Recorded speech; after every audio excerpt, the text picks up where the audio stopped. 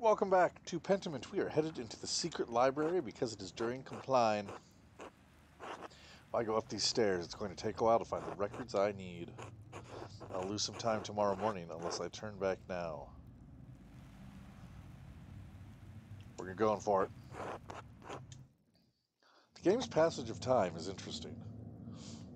And I wonder if that's going to, like, hurt me. Because isn't his wife coming or something, the, the Barons? What's this? De Herbis Cambriae. The writer is Cadphilus of Salopia. I don't believe I've heard of him. Mugwort and Butcher's Broom. I'm not familiar with their properties, but they sound extraordinary.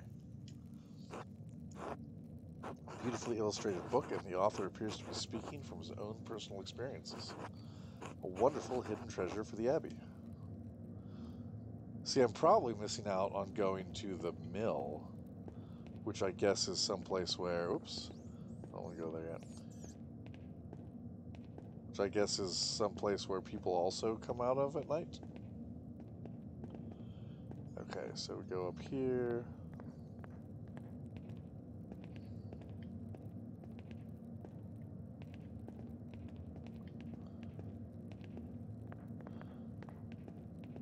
There we go. A little drunk walking. What do we have here? A bifolium taken from a larger text, the Mysteria Astra. I'm not familiar with it. Some sort of astronomical text. Seems rudimentary, explaining the connection between astrological signs and the elements and their basic relationship to alchemy. Each sign is governed by one of the four elements Cancer, Scorpio, and Pisces are water, Capricorn, Taurus, and Virgo are earth, and so on. I don't know what the symbol for Sagittarius is, so there you are. It cuts off there. The next page is about something else entirely. Sister Illuminata must be trying to reconstruct the larger text. Describe and illustrate bifolia out of page order so the shift of subject isn't surprising. It would make more sense once it were bound. Those two pages were interesting enough, I suppose, but quite basic. Oh well, they can't all be Aristotle. Ooh, what's this? Get. This is most curious. Historia de Labyrinthio Liborum. Hmm. I believe a Bolognese professor told me a tale about such a place in Piedmont. Somewhat hard to believe, to be honest. That old man was quite a storyteller, I must admit. That all?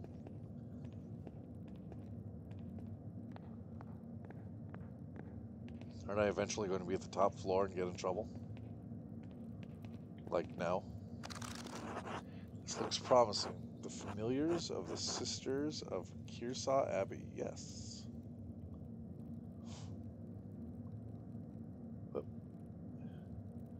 Okay, the cursor movement kind of sucks.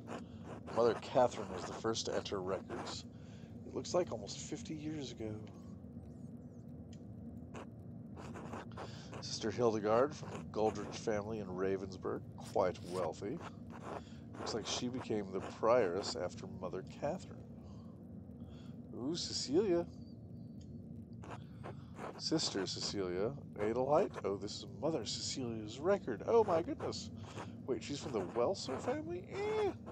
They're one of those powerful families in Augsburg. Looks like her family donates a lot of money to Kiersau every year. More than my family sees in ten. Indeed. Sister Gertrude from Hoff, the herbalist, yes. Her father's an apothecary, that explains it.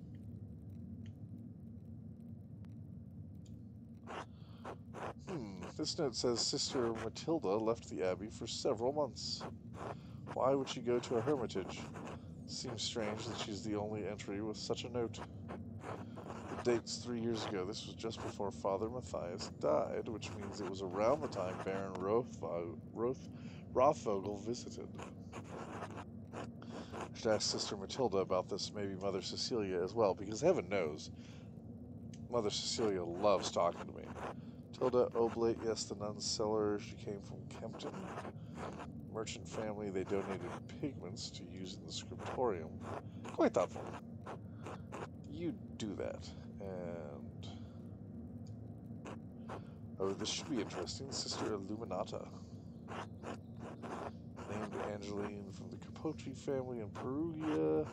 Looks like they have some connection to Kiersau through an old abbot Rudolph. Her family donates money to the abbey every year as well. Oh, did I not? Oh shoot, was I supposed to go further? Oh no!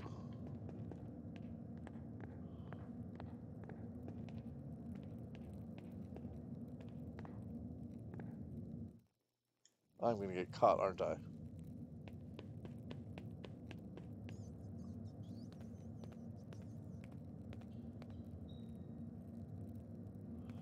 He looks shifty.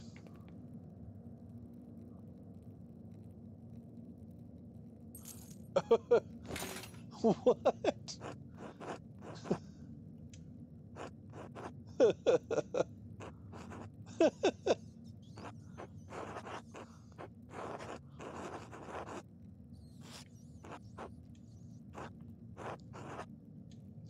what am I going to do? Just wait for them to finish and leave. It can't take that long, can it? Should speak with them openly in good faith as been a reason. Run for it. Go, go, go. Um, they'll notice, but can they catch me? How fast can two monks run?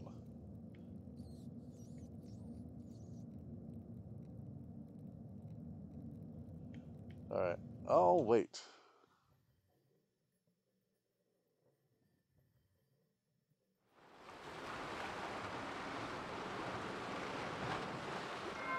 Oh, this is our little fantasy land.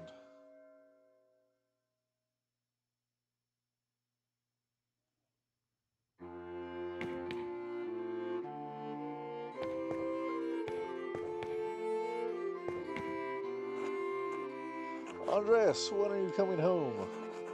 Dad, I'll be home soon. I need to finish this commission for the Abbey. A little nervous about this girl, Sabine. Good, good. But finish that masterpiece too. It's time for you to get on with your career. Yes, of course. You're not going to quit this like you quit university. I quit university. No! If it weren't for the book I did for the rector, you never would have had the opportunity. Most people never get a second chance after they throw something away like that. Oh no, Andreas. See you when you get back. Sure, alright.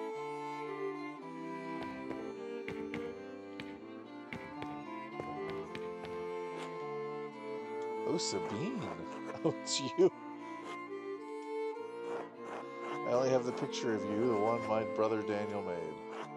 I really don't have any idea what you're like. are you really that pretty? Do you really want to get mad? So, what are you like? Please don't imagine me telling you in your own minute. You'll imagine I'm wonderful or imagine I'm horrible. Either way, it's not fair to me, is it? The painted you, the imagined you, the real you? To none of us. I'll see you soon, Andreas. For real, I mean. I suppose that's true. Until then. It has been too long since you have graced this court with your presence. My mind has been preoccupied by a tragedy at Kiersau Abbey. I have like my own imaginary world. Where a nobleman, a close friend of the Prince-Bishop of Rising. My friend, Brother Piero, is the abbot's only suspect. I know he could not have done it. How do you know? Examine your assumptions, my son. In addition to having no motive and violence not being part of his character, he's not physically capable of the act. He's of limited strength and has a palsy in his hand that makes holding a paintbrush difficult. A whole lot of inconceivable shit happens on this hell of an earth, Andreas. I just don't believe he could have done it. There has to be a better explanation. I do not deny that it is possible, but I leave it, believe it is extremely improbable. So what do you intend to do about it? When I'm brought before the Archdeacon, I'll tell him what I know about other people who had motives to kill the Baron. I have to believe they'll see they're much more likely suspects than Piero. Have you taken this upon yourself? I have to save Brother Piero's life. He has no one else to help him. I'll find the real killer. If the Archdeacon investigation threatens the Abbey, I want to protect. I want to protect Piero. Your love for and devotion to him speak well of your character. A man who is humble before his elders also honors also his gods. Of course, you'd say that old man. He's right though. If Andreas doesn't help him, no one will.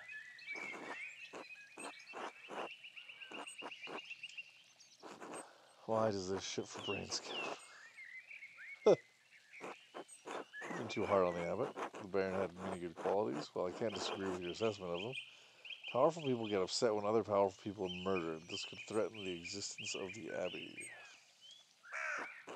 Oh no, the Abbey! Who gives a damn about those glass souls? In any case, Andreas' ability to prevent Piero's death depends on the judgment of the Archdeacon. Wise or foolish, corrupt or just, the Archdeacon will be the first and possibly final arbiter of Piero's guilt. Andreas must win the Archdeacon to his side using the tools favored by men such as him.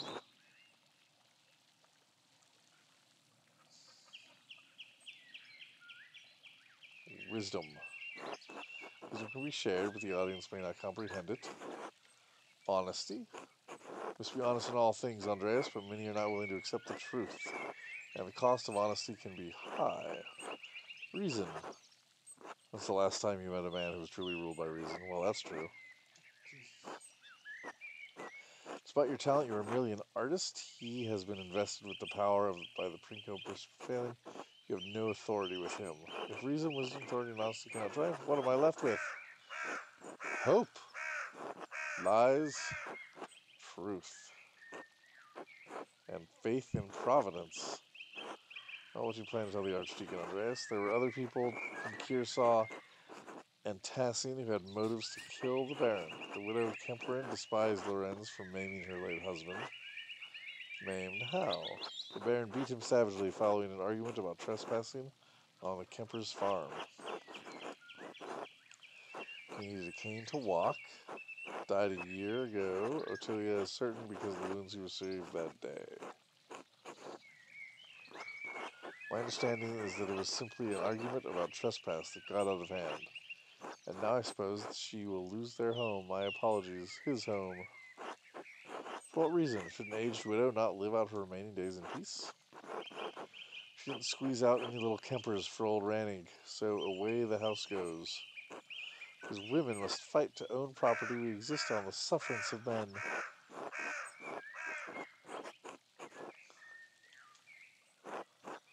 Perhaps if more men understood our just anger, the laws would change.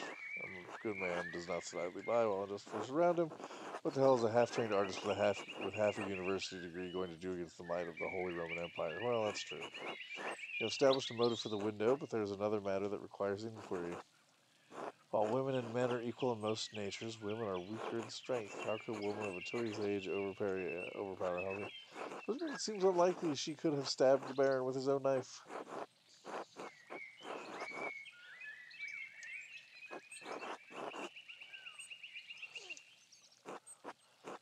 Lucky Steinhauer hated the Baron for the death of his daughter Beatty. He seduced her and made her certain promises about their future together. And then bad stuff happened.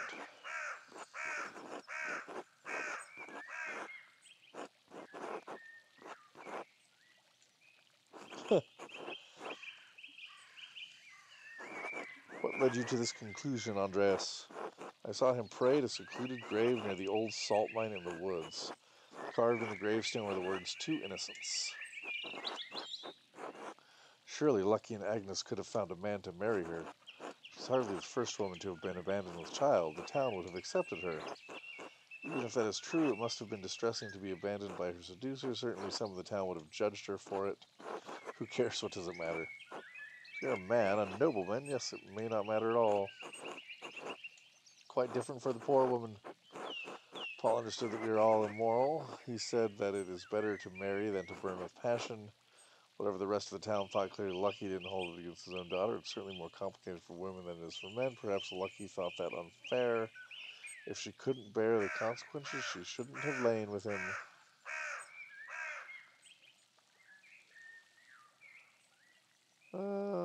Let's go with that. He's married to the village midwife. He would know better than most the hardships faced by unwed mothers. His first daughter also married young unexpectedly, did she not? Yes, Brigitte married Martin quite young, though now he's run off as well. So yet another woman has been left to raise a child alone. Do you believe Lucky would have killed the Baron to avenge his daughter? The desire for revenge is easily condoned. Is Lucky physically capable of wresting the Baron's knife away from him to stab the man? Yeah. I saw him lift massive stones by the church. Later, he was killing fish by slamming their heads against a rock. Minor tasks seemed to tax his strength. Killing Lorenz would have been easy for him. Are there any others you suspect? Found no other suspects.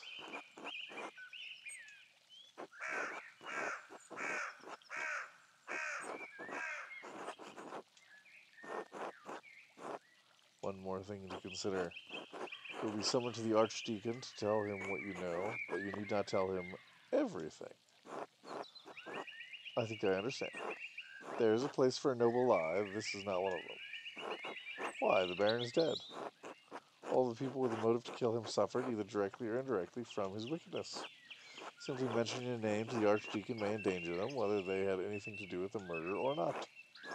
Right, no point throwing everyone waist deep into shit here. I protest any attempt at deception, but you must ultimately follow your own conscience, Andreas. Little time remains before you must stand before the Archdeacon. Use it wisely. I have faith in Providence. Until we meet again, Andreas, God be with you. So does he have just this, like, little kingdom in his mind?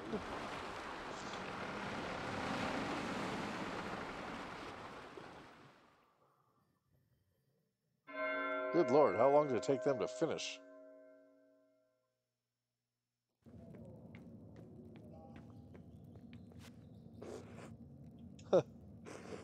Trace, wake up.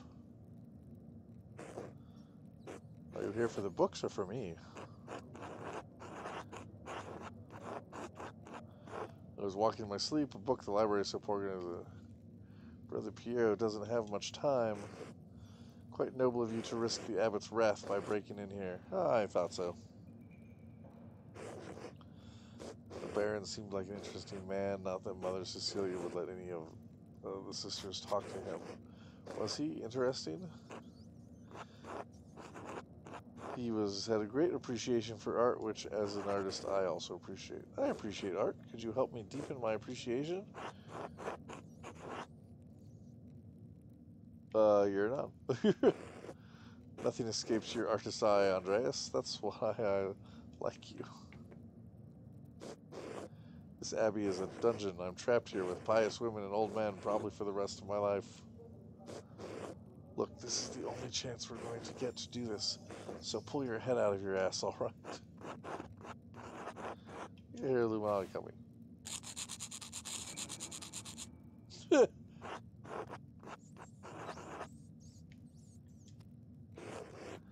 you idiot, you're going to regret this. Uh-oh.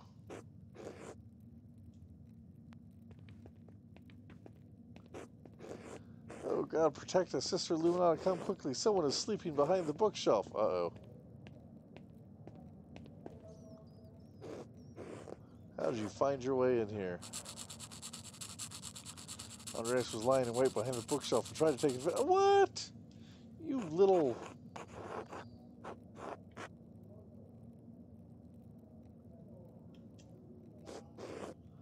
I do not know who to believe here, Andreas. There's no good reason for you to be in this library at this hour or any hour. Then again, I know Sister Zdena to be an imaginative young woman and an inveterate liar.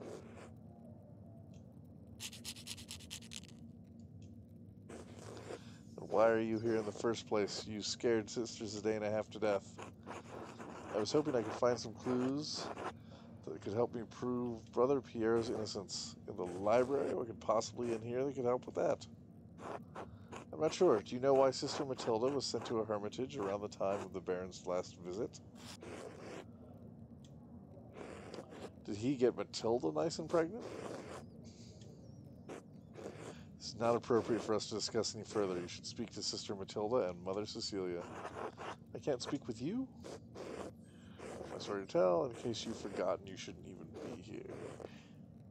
Please leave immediately. Of course, I am sorry for the trouble. Come, Sister Zdena, we have work to do. Yeah, he got Matilda pregnant too.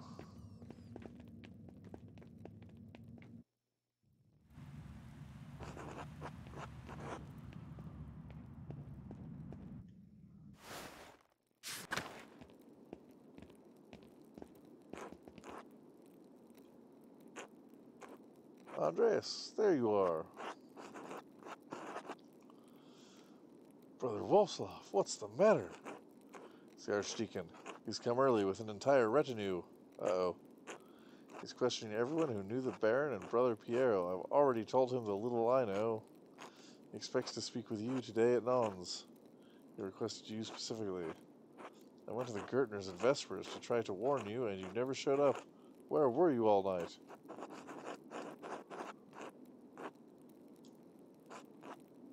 What? Why? No, never mind. Just don't let the abbot find out, and don't tell the archdeacon. Anyway, he's questioning everyone in the chapter house, and he's keenly interested in you. It's no secret you've been poking about the town and the abbey, sticking your nose in the rot. I hope your prying has borne fruit, or Piero's neck will meet the sword.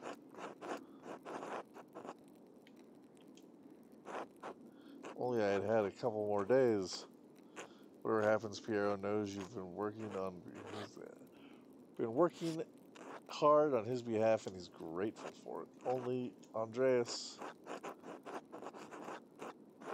What is it? It's just you know as well as I do, the Baron was not a good man. I'm not saying he deserved what he got. Just you think hard about what you tell the Archdeacon and who you tell him about. You understand? You need to worry, I found nothing that implicates you. I'm sorry, I didn't mean to shout. You don't deserve that. Well, thanks. All I'm saying is, is if in your searching you heard anything about a certain sister, I'd ask you to keep it to yourself. I'll do what I can to protect Sister Matilda from censure. I will pray for Piero's deliverance tonight. You should as well.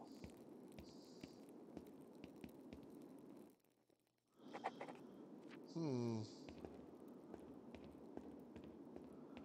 Let's see if I can get a hold of the nuns